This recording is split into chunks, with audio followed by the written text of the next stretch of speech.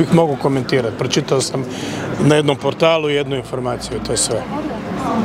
Što očekujete od procesa biranja kandidata za Ustavni sud? Vladajući ih intenzivno ispituju o vama. O meni ih ispituju. Samo naprijed. Ne ispituju ih u Turudiću. Gledajte ovako. Dakle, ova cijela priča, s obzirom da se ljudi već pomalo gube i da su sluđeni, pojam sluđenosti, odnosno gaslightinga, sam u hrvatski politički diskurs prije dvije, tri godine uveo ja. Još sam govorio o filmu Georgia Cukora, u glavnoj ulozi Ingrid Bergman, koji je glavni lik, jedan francuski glumac, koji je postao hollywoodski, sluđuje ubija Boga u njoj tako da je konstantno objašnjava da je luda i da vidi stvari koje ne vidi ili koje vidi, to nama HDZ radi. I zato je sad, dakle, e, nastupilo faza u kojoj više ne možemo razgovarati argumentima. To je sad pitanje povjerenja. Dakle, ovo sve što sam govorio je više naporno i teško slušati i ne očekujem ni od vas da budete atento cijelo vrijeme, a kamoli od ljudi koji će to pogledati u sekundi. Ovo je stvar povjerenja. Vjerujete meni, koji sam na kraju krajeva dobar dio života posvetio tom savezu, i hrvatskom članstvu u tom savezu, u NATO-u. Moji najbliži suradnici još i više, pametnijih i obrazovanijih od njih nema. Ili vjerujete tipovima koji su prije pola godine za državnog odvjetnika izabrali Ivana Turudića, majko Isusova, još prije pola godine. Kome vjerujete?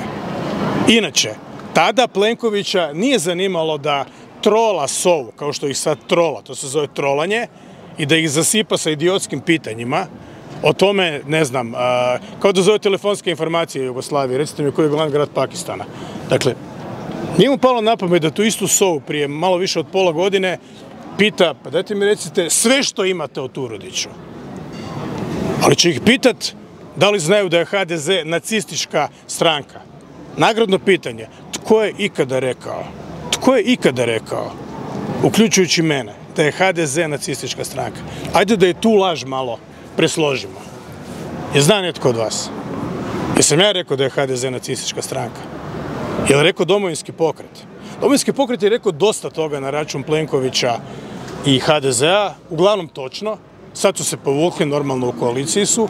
I 90% ovih jadikovki koje slušamo od Plenkovića i Androkovića su u stvari napadi i, i, ovaj, i, kritike i filipike i klasifikacije koje je na račun HDZ-a dao domovinski pokret. To da su kažnjavana stranka kao kriminalna organizacija, to je činjenica.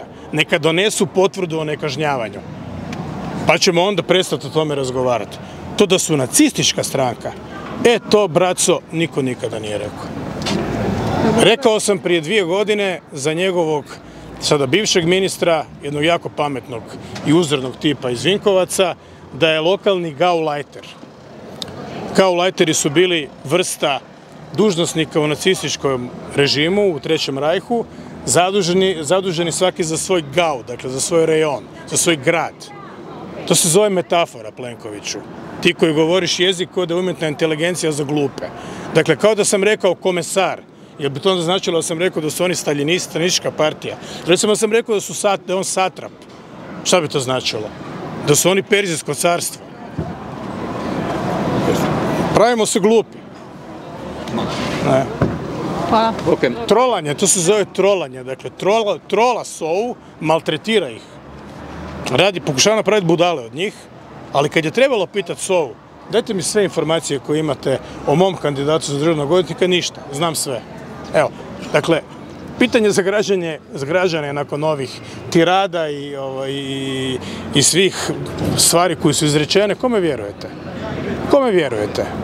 Na kraju će se stvar svoditi na to. Hvala. Hvala.